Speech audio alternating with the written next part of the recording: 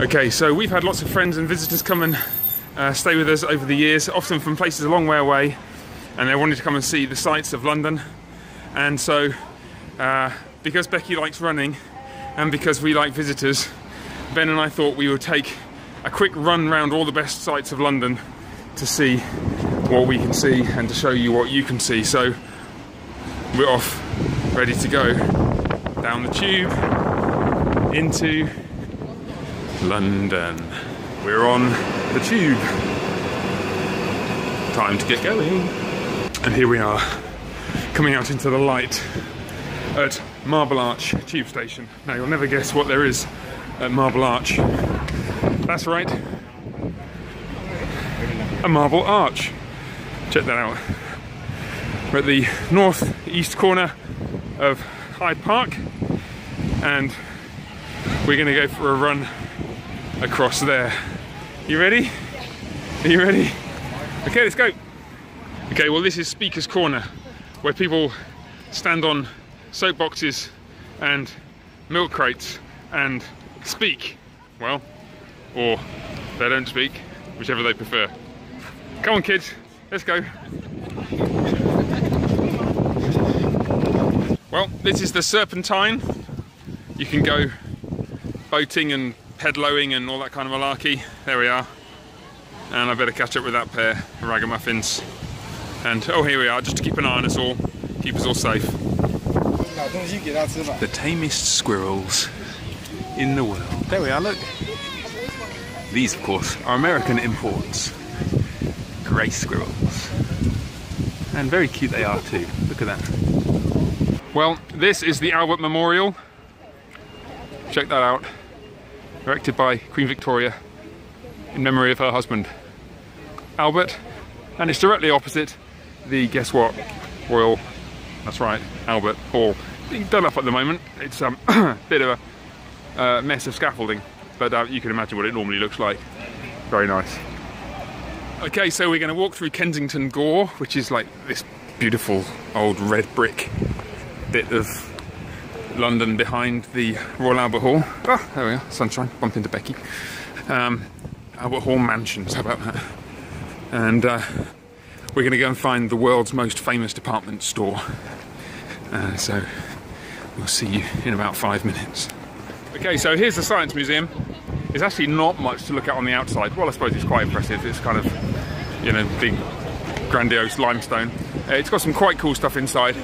Um, but we're about to show you one or two other museums which have got a lot to see on the outside. Very impressive. Anyway, find them in a second. Oh look, bubbles. and there's us again. Ooh, oh no, it didn't work, did it?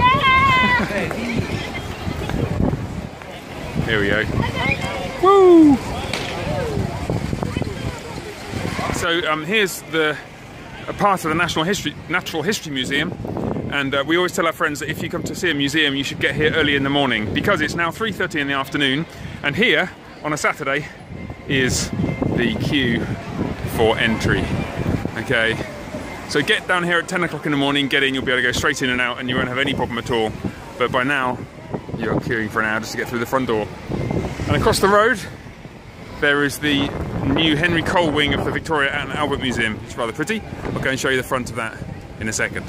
Okay, well they don't make them like this anymore.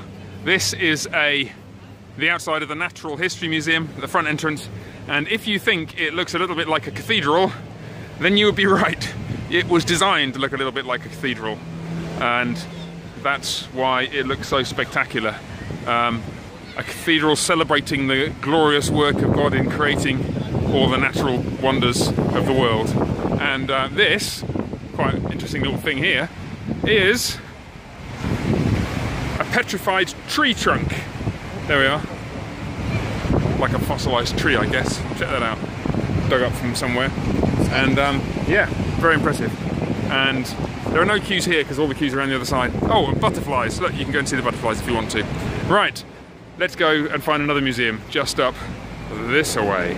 Okay, so here we are on Cromwell Road and there is the Victoria and Albert Museum. You can't really see the museum itself so well from here because you've got all these trees in the way, but inside it's basically a museum of design.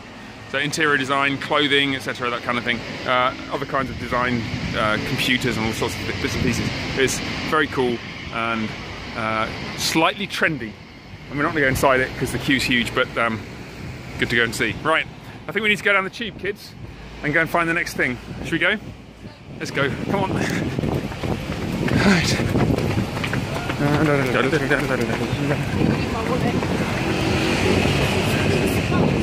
Right then, let's go down here.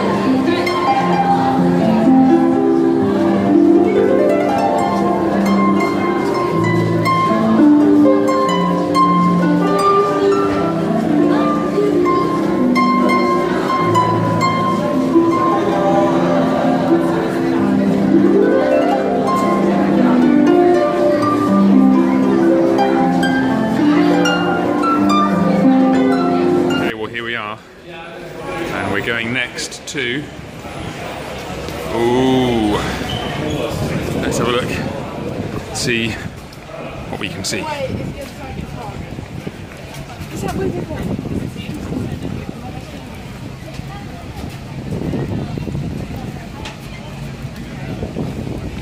Seven minute walk. All right, More like okie dokie. Here we are. This is Green Park. Can you drink the water? I don't think it'd be very wise. All those people sticking their fingers in it. You want to drink that? Birds pooing in it?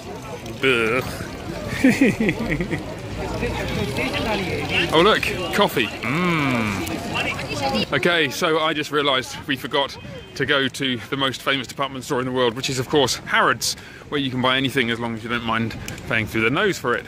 Um, but anyway, here we are. We've come through uh, Green Park, and we're now approaching the most famous royal residence in the world. Dare I say it? Well, let's see. Come on. I think that statues of Victoria. Or, go and pick up the statues.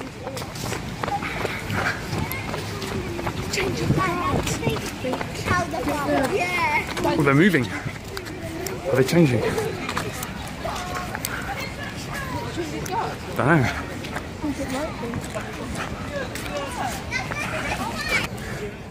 These guys are in charge of looking after all of the Queen's residents. And I have read somewhere recently that they're not armed.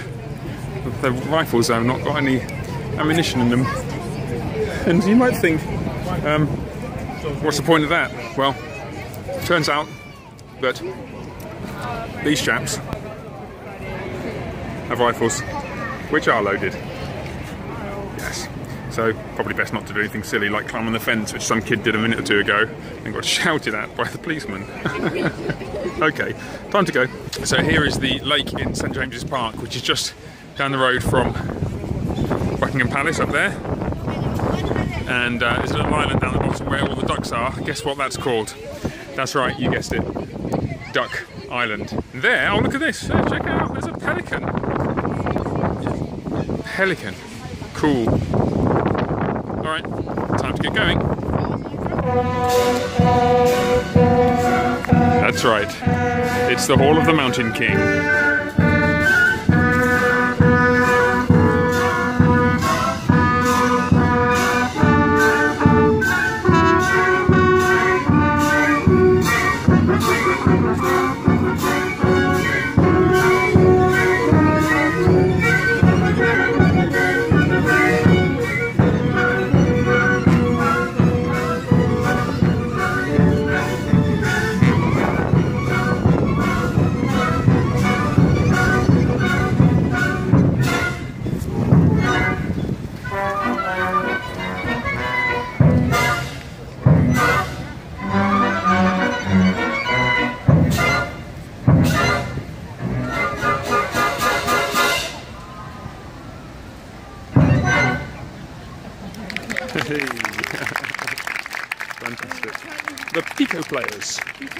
London's amateur orchestra. Fantastic. When you come to London, if you fly to London, if you come to Heathrow, you should be a bit uh, careful when you're, be observant. Watch where you're going when you're uh, coming into land because that plane is coming to land at Heathrow, and if the wind's in the right direction, you'll do what that plane's doing. You'll be flying quite low over all the sites of central London. So check that out. And if you sit, especially if you sit on the right-hand side of the plane, then obviously you'll be able to see down and see all this stuff. Huh, how about that? Approaching the Olympic Beach Volleyball Stadium, also known as Horse Guards Parade. And guess what? Here's a horse guard. Rather grumpy looking one, but I guess uh, maybe they're good at being grumpy. So here we are, that's where they go to practice parading as horse guards. How about that? Very nice. And we're going to go and find some of the political bits and pieces, Downing Street and uh, Westminster and so on next. If you just look over there, you can just about see poking above the rooftops, you can just about see the London Eye, which you'll also go and see later. Okay, let's go. There we are, a member of Her Majesty's Household Cavalry.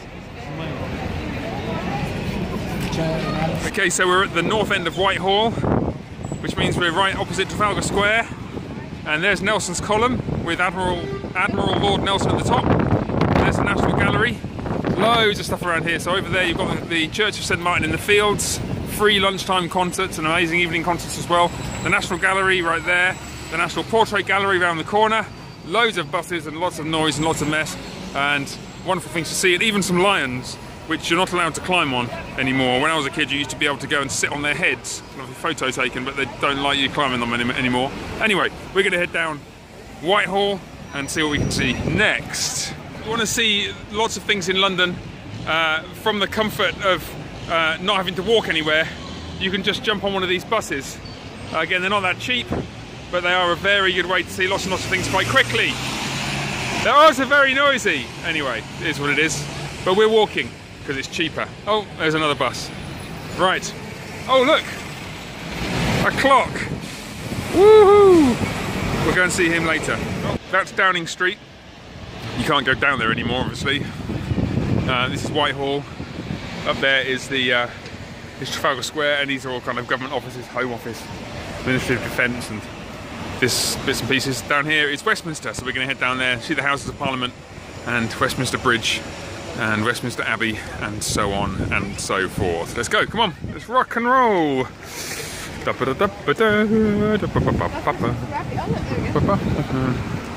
Oh yeah, the London Eye, how about that? That is, it's on the south of the river, so the river's just over there. Okay, let's go. Well, we made it to Westminster. So here we are, you've got um, statue of Churchill right there. You can see him, and then you've got Westminster Abbey. Don't worry about it, you just go right there. Um, Westminster Abbey, St Margaret's in front of there. There's the Palace of Westminster. And here, half covered in scaffolding, poor old fella, is St Stephen's Clock Tower with Big Ben bonging away for the time being at least up there.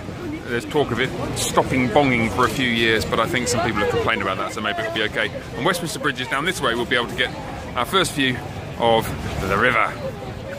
Okay, well here is the front of the Palace of Westminster, if those buses will just clear off out of the way.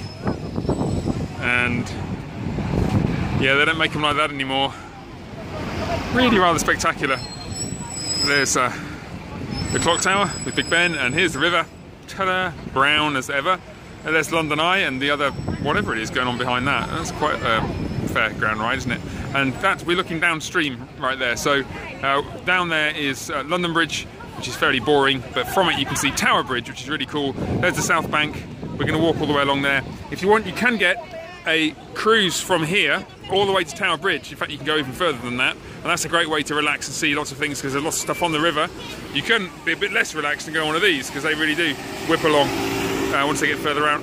Um, but you can get a cruise all the way along and all the way back if you want. But we're going to walk because then we can show you all the stuff on the South Bank. Beginning, no doubt, with this little baby. Woohoo! Okay, let's go. Come on, kids. Now, I've never been in here, the London Dungeon, but they sort of sell it as a really gruesome glimpse into London's gory and seedy past. Don't know whether that appeals to you. anyway, there it is if you want it. Okay, well here we are. We are now underneath the London Eye. Right up there. Woohoo! Check that out. And the queues.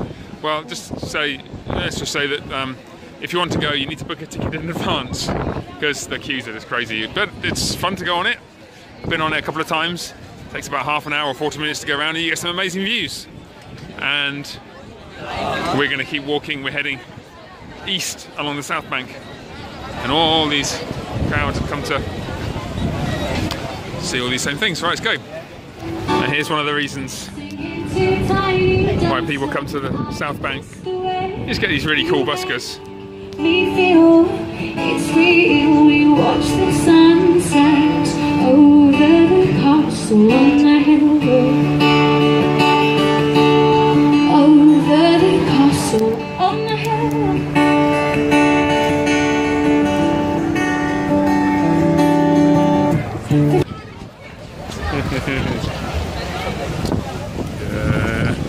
He's real. Right, here's a bookstore, book fair on the South Bank. Always get this kind of stuff. And there is the National Theatre, the South Bank Centre. The National Theatre is, of course, a monument to a, a phase of British architectural thinking, which uh, in probably in a few decades' time we will look back and scratch our heads and wonder what were we thinking. But anyway, yeah, it does look terrible. But um, who knows? Maybe somebody will knock it down and build something pleasant to look at at some point. Anyway, for now, there it is, the National Theatre, and we're going to head along here see a few other bits and pieces. What is this? You might ask. I have no idea. I would reply. What is it, Ben? Well, I know that that's like the logo from the games. I don't really know. Oh, okay. Commercial thing. Anyway, oh, here's a TV studio, shops and things, ugly buildings. Oxo Tower, it's quite cool. There's a restaurant up there, on the top of there, which Nicole and I went to once, courtesy of BP, who are giving away freebies. So thank you very much, BP. Oh, and there is um, St Paul's Cathedral. We'll take a closer look at that in a minute. Check that out. Proper artist at work. Look at that.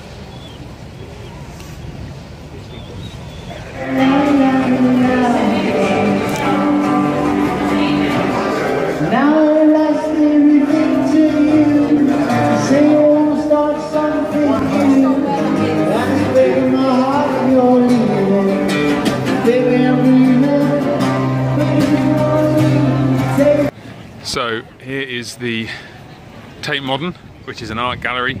You might think it looks a little bit like a an old power station. Well, guess what? yes, it used to be a power station.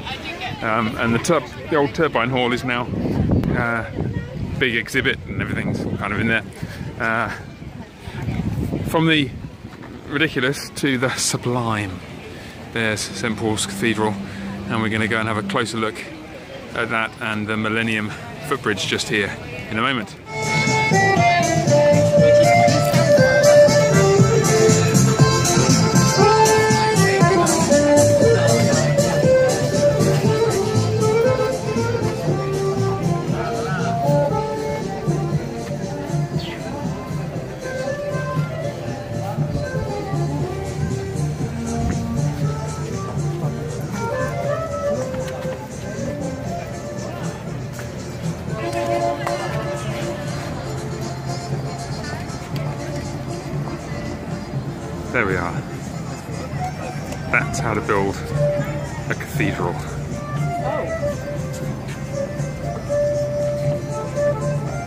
So the Millennium Footbridge was opened, guess when, around about the millennium, and uh, Nicole and I happened to be just down the river from here when it opened, and they sent this huge crowd of school kids over it uh, to celebrate it being open. Unfortunately, all the school kids started falling over because the bridge was wobbly. It hadn't been designed properly, and so it had to be closed immediately, and it wasn't opened again for another couple of years. And it's ever since then been known as the Wobbly Bridge, obviously. And they fixed the wobbles, and now it's safe to walk on. So there it is, and you'll have seen that if you've watched Harry Potter films. and all that kind of malarkey. And then you look around here. Oh, yeah, look, that's the tallest building in London now, the Shard. There we are. Is it the tallest in Europe? Well, how about that? And there are these are some nice little old houses. Look at these. That's very beautiful. And then that's right, the Globe Theatre, um, a replica of the theatre used to to uh, in which um, Shakespeare's plays were performed, is just under the trees here. Hold on, we'll go and have a look at it.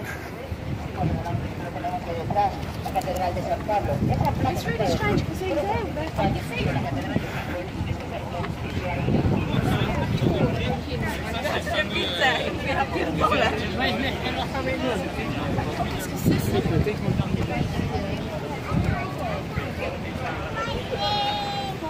There we are. Um, that's the Globe, and it's beautiful. And you can get tickets uh, to see plays in there if you don't mind standing in the yard, um, which means you're 10 feet away from the actors. If you get at the front, you can get tickets for a fiver. Just don't try and buy them on the day because they'll all have sold out. But you can get um, more expensive tickets if you want to sit down. But it's brilliant. You can get to see some of the best plays performed by some amazing, absolutely incredible actors and actresses. The Globe Theatre. There it is. Okay, let's go and find something else.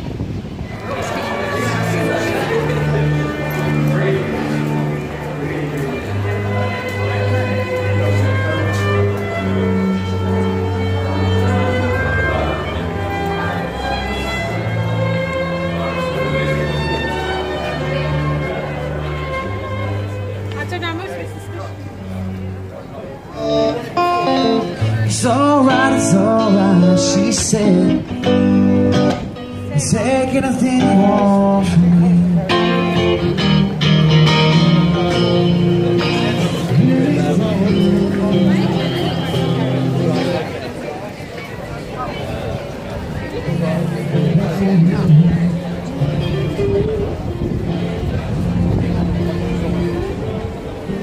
Well, if you're going to create graffiti, I guess.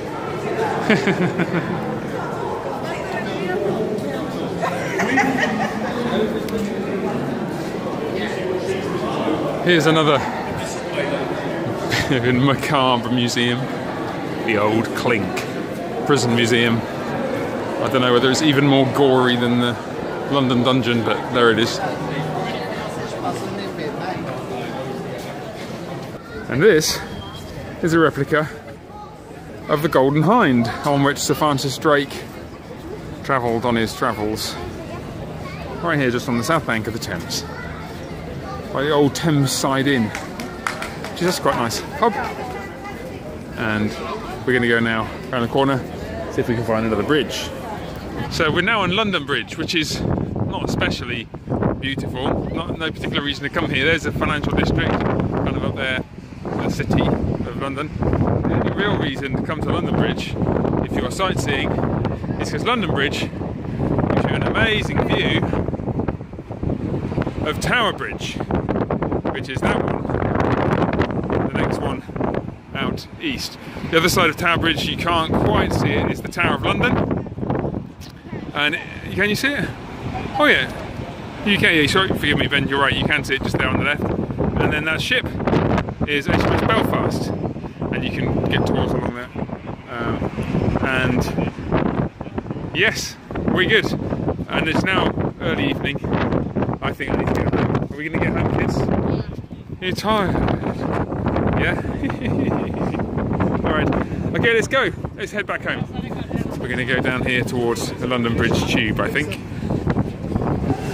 Okay, we're almost home. Oh.